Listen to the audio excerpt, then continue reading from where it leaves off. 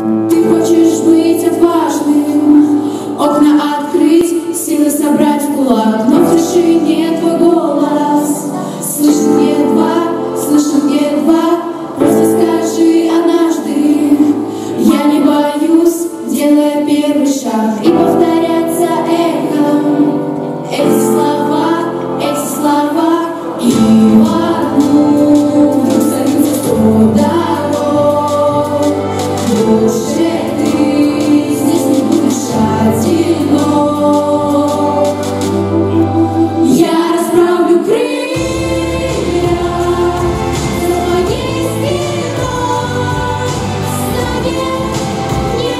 这是。